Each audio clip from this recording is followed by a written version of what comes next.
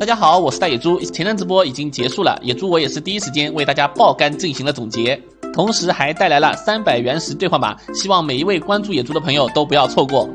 首先是我们最关心的三点二卡池，第一期草神纳西达和萧公，第二期八重神子达达利亚，新的四星角色莱伊拉将在这个卡池中，同时还有纳西达的专属武器，应该和草神在一个卡池，感觉原石远远不够用了。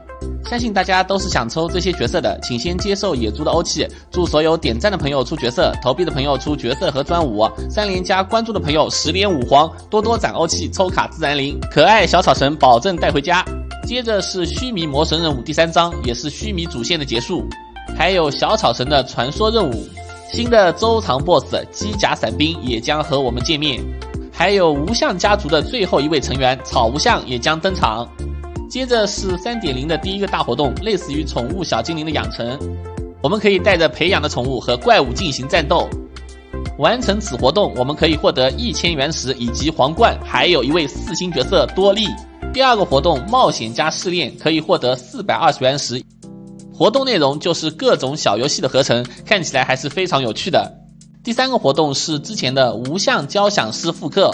也可以获得四百二十原石，大家不用担心难度，是可以吃药和烹饪的。第四个是之前画外铝造的复刻，同样可以获得四百二十原石，活动非常的简单。三点二最后的一个活动则是立本的百货奇货，我们的立本大哥又回来了，给他垃圾，给我们原石。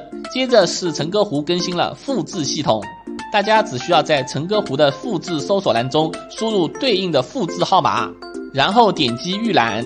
就可以直接把其他玩家的成歌湖装饰复制到自己的成歌湖了。要注意的是，缺少的摆设将不会被放置出来。在这里提前感谢每一位装修大佬，谢谢。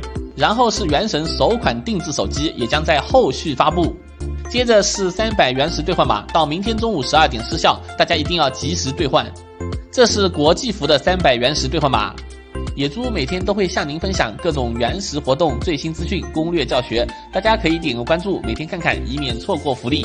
最后祝所有点赞三连、关注的朋友单抽出金，十连满命。